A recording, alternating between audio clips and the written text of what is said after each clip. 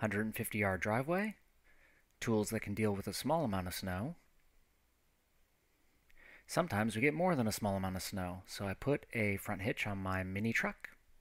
And now, maybe I should put a plow on here. Hmm. Huh? A lot of people have these black line plows.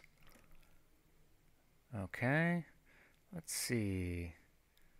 How about this one? I need six feet. And... Holy cow!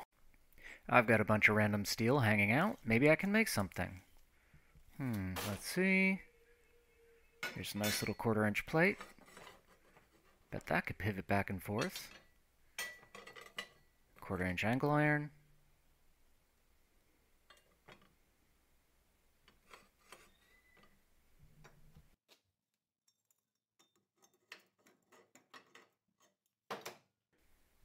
Got some 2 inch square tube. Fits in there nicely. Maybe I can mock something up to work with this 2,500 pound Harbor Freight winch. Let's see. I'm to need a bottom plate. So we'll put some holes in there.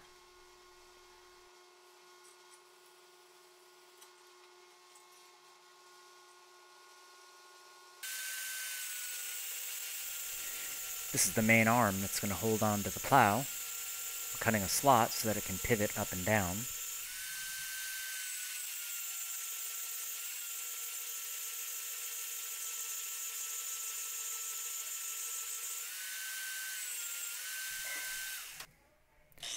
No plasma cutter, so I have to use a cutoff wheel, the smallest one that I have, to try and get this, and a jigsaw.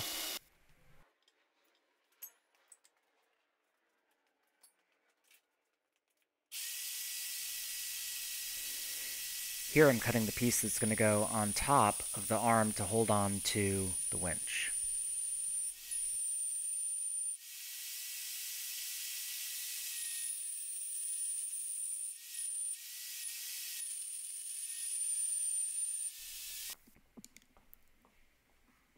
I found this old wire spool on the side of the road. Let's see if I can use that.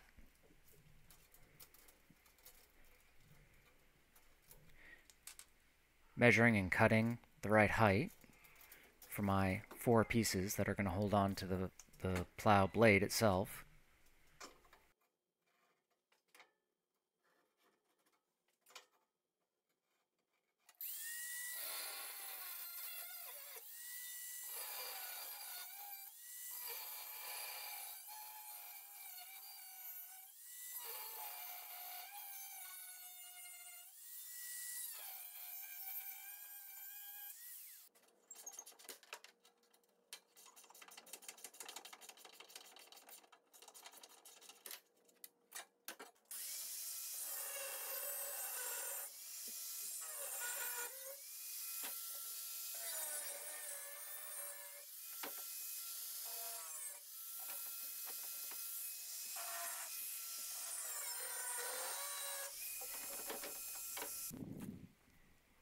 Speaking of the plow itself, here's some 1.5 millimeter stainless steel that I had hanging out.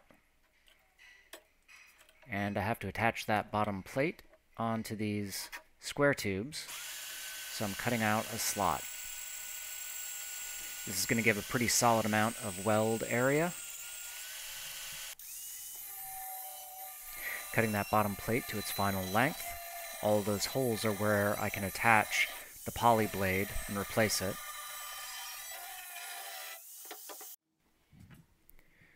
Okay, those slots for the bottom blade are looking pretty nice.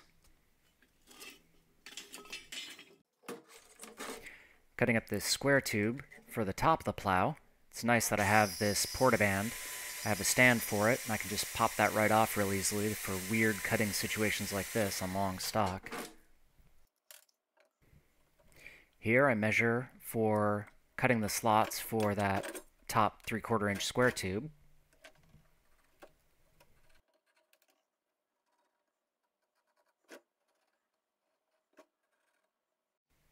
And here's the dry fit on what that looks like. Cutting stainless is not fun, even when it's thin.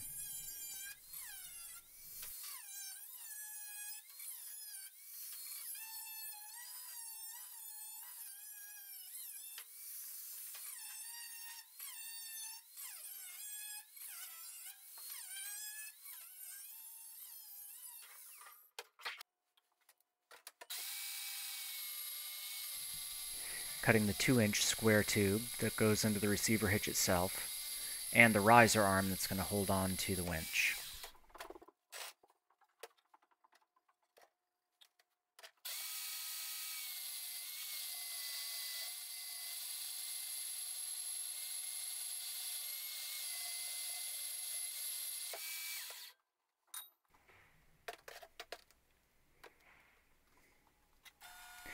Creating the pivot point for the 2 inch stock to go onto the main arm for the plow. These step bits are pretty nice for that.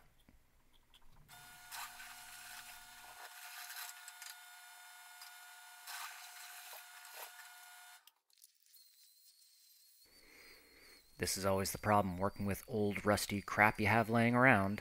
You gotta clean it up.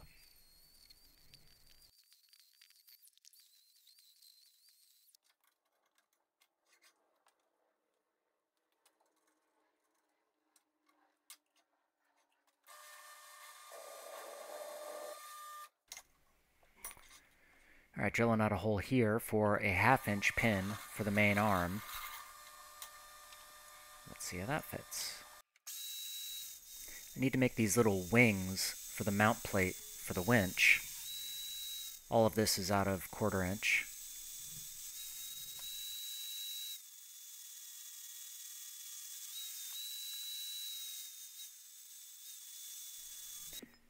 Here I make an adapter out of a cutoff from 2 inch receiver hitch.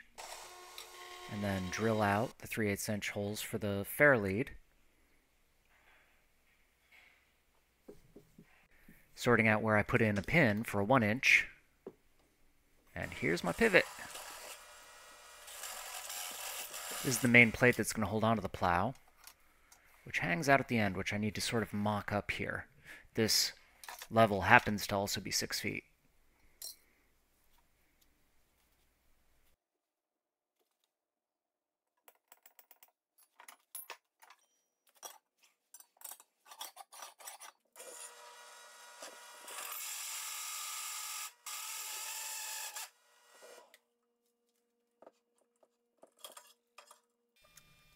Yes, I weld on the ground, so what? Tack time is always nerve-wracking. I'm putting some healthy tacks on this, and making sure that it it works out like I plan in my mind.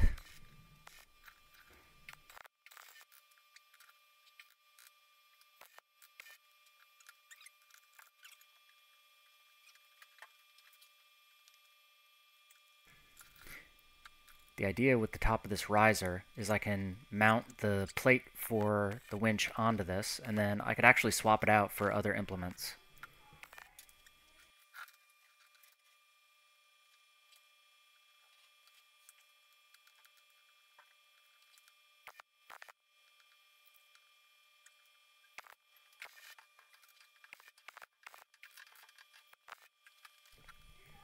This 2 inch tube is the weakest link in the whole assembly. So making it a little bit stronger. If it breaks, I make a new one.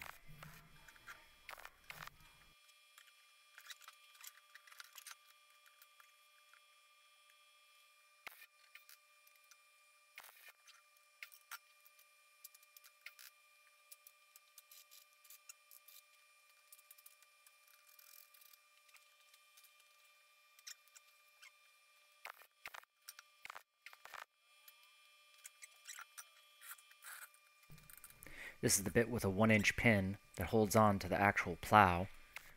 And I have springs mounted to this that let it tip forward.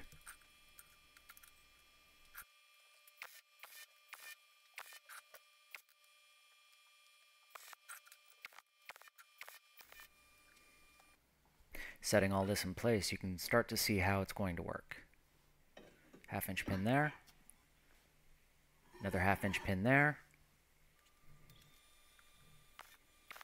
So, now it's time to mount on that 3 quarter inch top square tube.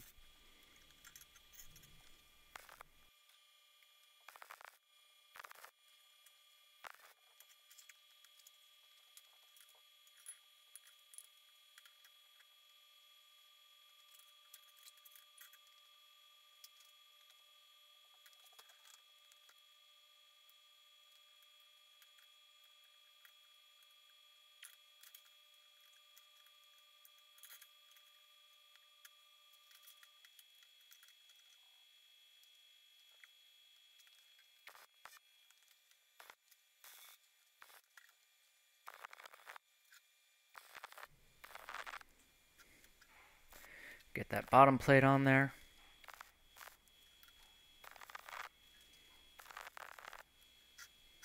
Notice I don't have the two center pieces quite yet. Working out the uh, spacing still.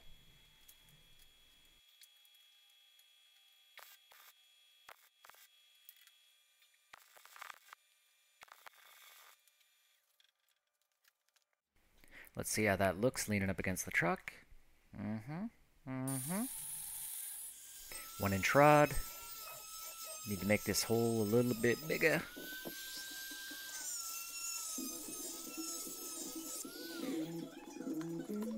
And fits. Now I've got room for some pins.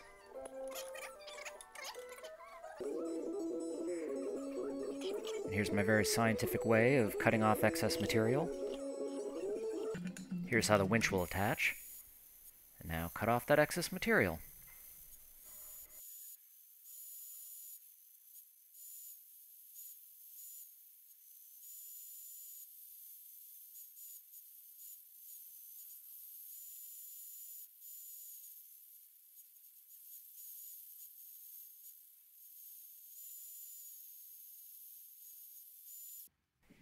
Now I fit in my half inch pin.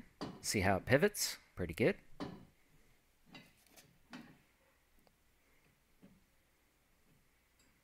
Everything looking good. Here I'm tapping a 3 8 16 because that happens to be the pin that I have in some old knob I got out of a parts bin.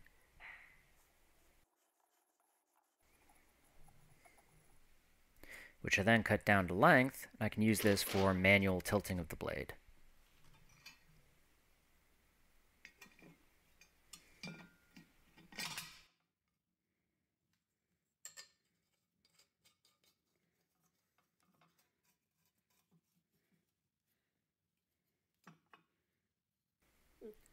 Sort of guessing here at how I'm going to mount the plow, where the hole is for the 1 inch. I first tried drilling this with an old hole saw with only two carbide teeth left. I didn't include that footage.